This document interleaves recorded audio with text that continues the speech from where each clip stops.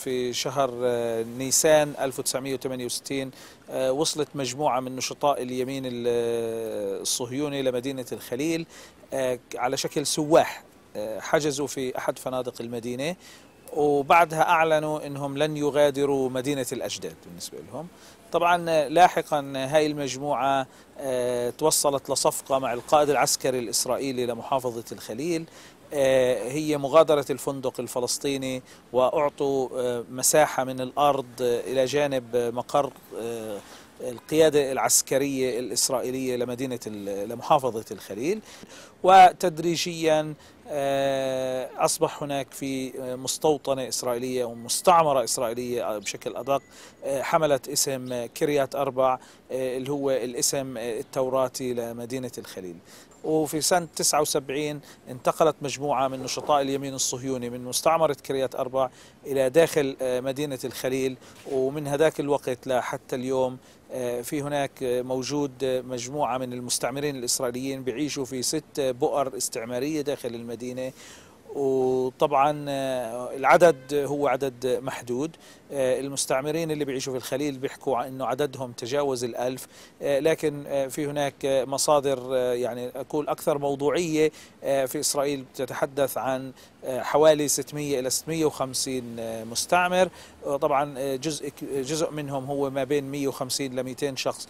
هم طلاب مدرسة دينية يهودية يقيموا في الخليل لفترة مؤقتة خلال فترة دراسة هذا الفصل الديني. طبعا إحنا لما نحكي عن البؤر الاستيطانية داخل المدينة هي في مركز المدينة هي في مركز المدينة القديمة وفي مناطق هي استراتيجية ومهمة جدا للسكان الفلسطينيين. البؤر الاستعمارية داخل المدينة هي بتتواجد في شارع الشهداء أو في ممرات تؤدي إلى شارع الشهداء. ما أود أن أقوله أولا أنه المستعمرين الإسرائيليين في وسط المدينة هم شريحة يعني من أقصى اليمين المتطرف صهيونيا. هذول الناس يتعاملوا مع وجودي كمواطن فلسطيني في هذه المدينة على أنه هو الاحتلال في هاي المدينة.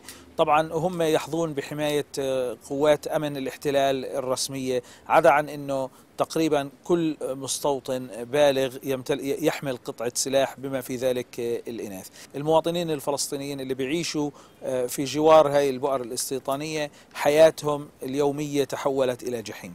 يعني السكان هذول دائما خلال دخولهم وخروجهم إلى من وإلى منازلهم يتعرضون لاعتداءات المستعمرين. سواء البالغين أو الأطفال منهم. البيوت أصبحت هدف مباشر للإعتداءات نفسها. في هناك قضية أخرى اللي هي تقييد حرية حركة المواطنين الفلسطينيين في المدينة بدعوى حماية أمن هؤلاء المستعمرين. في عندنا في مدينة الخليل حوالي 10 كيلومتر من الطرق الفلسطينيين يحظر عليهم قيادة السيارات فيها. في عندنا حوالي 800 متر لكيلومتر واحد الفلسطينيين يمنعوا من المشي فيها. وأنا هنا يعني في عندي سؤال لكل الناس في العالم. أنا بطلب من أي شخص في العالم يتخيل نفسه بعيش في شارع يمنع من الوصول إلى بيته مشيا أو بواسطة السيارة. كيف ممكن يصل لبيته؟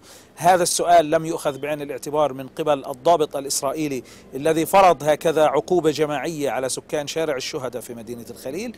وطبعا اللي أجبر الغالبية العظمى من السكان لمغادرة الشارع والجزء البسيط اللي بقي في الشارع يستخدم السطح كمدخل أو ممر للوصول لبيته بالمرور من سطح إلى آخر. حتى الوصول إلى بيت آخر له مدخل على شارع آخر ليصل منه إلى بيته.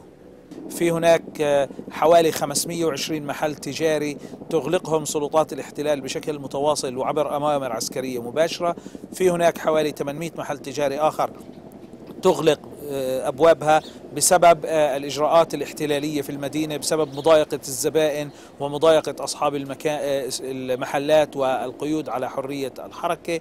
في مدينة الخليل حوالي مائة حاجز وطريق مغلق ونقطة مراقبة عسكرية.